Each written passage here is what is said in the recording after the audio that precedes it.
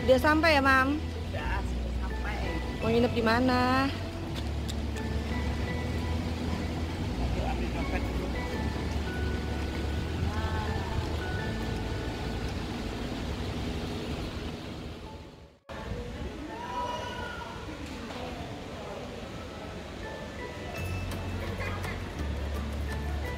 Mami mau nginep di mana? Mami mau nginep di Discovery eh, Cafe sini di hotel apa? Kute di Kute. Oh, di daerah Kute. Daerah Kute katanya luas sekali kebunnya. Mungkin saja ada anggrek kita ya. Halo, Assalamualaikum penonton Ketemu dan saya Asistennya Mami Kok nggak ada Mami? Karena Maminya lagi beres-beres Kita baru aja check-in Di sebuah hotel yang keren banget uh, Di area Kute. Nama hotelnya adalah Discovery Kartika Kute. Nah sekaligus saya juga kepengen nih Penonton tahu apa aja sih uh, Yang cantik-cantik di Discovery Kute ini. Dan yang pastinya juga kita akan uh, lihat-lihat ya kebunnya Discovery. Karena Discovery ini areanya luas sekali dan banyak sekali tumbuh-tumbuhan uh, yang lucu-lucu yang perlu kita tahu. Oke, penonton ikuti aku terus ya.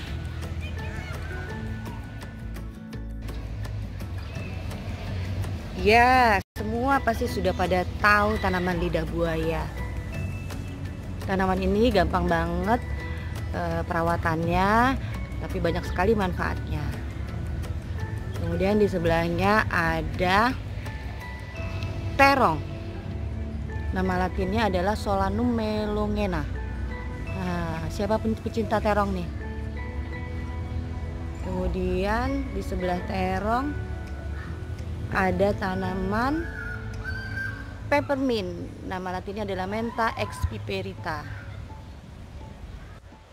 Peppermint ini biasa di ini ya dipakai untuk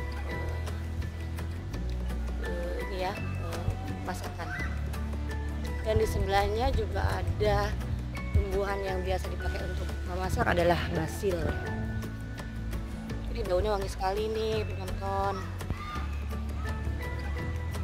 Dan di sebelah basil ada juga untuk bahan makanan yaitu rosemary.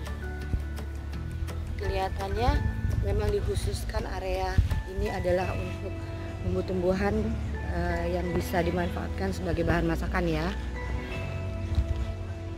Selain itu di Discovery juga ditumbuhi oleh pohon-pohon besar yang juga sama di ini juga dikasih label alias dinamain nah kalau nonton pengen tahu yang namanya pandan Bali nih depan saya sekarang ada tanaman yang tinggi ya. Tinggi ya untuk ukuran pandan Bali ya. Itu dia pandan Bali.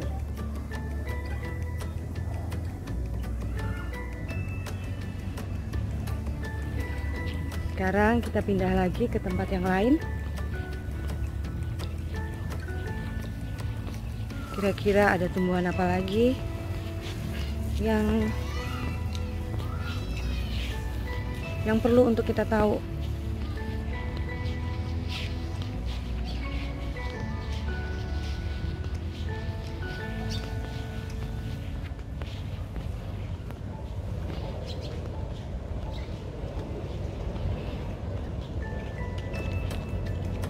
Kita juga nggak kalah sama Jepang penonton. Kita juga punya sakura.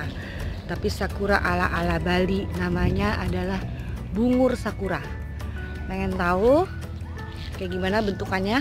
Wah tinggi banget nonton. Sabar ya sabar ya. Itu dia. Saya nggak tahu kenapa nih dikasih nama sakura. Apakah dia akan berbunga eh, seperti bunga sakura di Jepang? Karena saya nggak ngelihat ada bunganya